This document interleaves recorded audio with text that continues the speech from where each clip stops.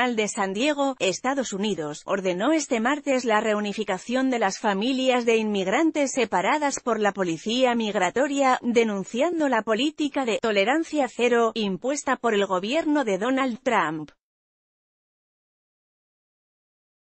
Todo a menos que los padres no representen un peligro para sus niños, de acuerdo con la sentencia, a la que tuvo acceso la agencia AFP, los padres deben de ser reunidos con ellos en un plazo de dos semanas para los menores de 5 años y en menos de 30 días para los otros niños.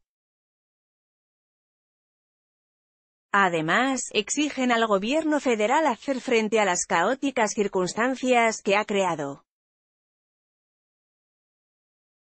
Con la política de «tolerancia cero», el gobierno de Donald Trump inició una cacería de inmigrantes en la frontera que separa a Estados Unidos de México. Foto, Univisión, que es la política de tolerancia cero. En abril, el fiscal general de Estados Unidos Jeff Sessions anunció una política de tolerancia cero, que permitió que las personas capturadas tratando de ingresar ilegalmente al país enfrentaran cargos criminales, lo que provocó que miles de niños fueran separados de sus padres.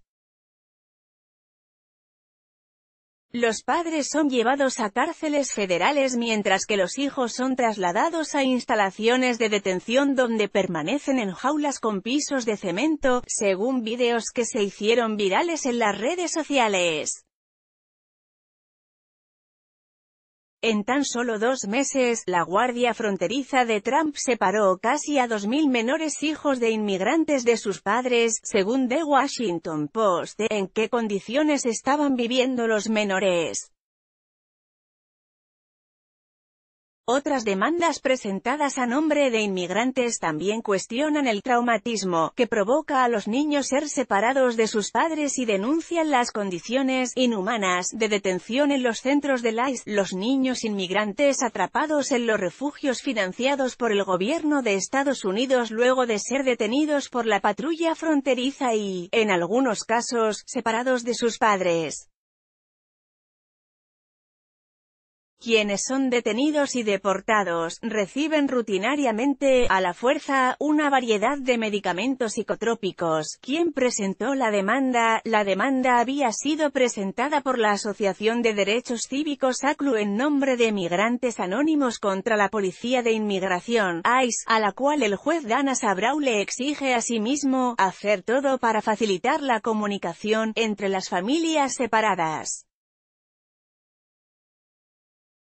La ACLU celebró en un comunicado y en Twitter la decisión judicial a la que calificó como una enorme victoria para los padres y los niños que pensaban que nunca iban a volver a verse, añadiendo que va a haber lágrimas de alegría en los centros de detención en varias partes del país la semana pasada, frente Al clamor en filas de su propio partido y de la ONU, Trump firmó un decreto suspendiendo la separación de padres e hijos que ingresaron juntos ilegalmente a Estados Unidos, gran parte de ellos en demanda de asilo huyendo de la violencia y la pobreza en países de América Central, asterisco con información de AFP, podría interesarte. Así se escucha el llanto de niños migrantes detenidos en Estados Unidos de América están drogando a los niños inmigrantes en las jaulas de Estados Unidos de América. Tomasa Mendoza periodista sí a las figuras retóricas.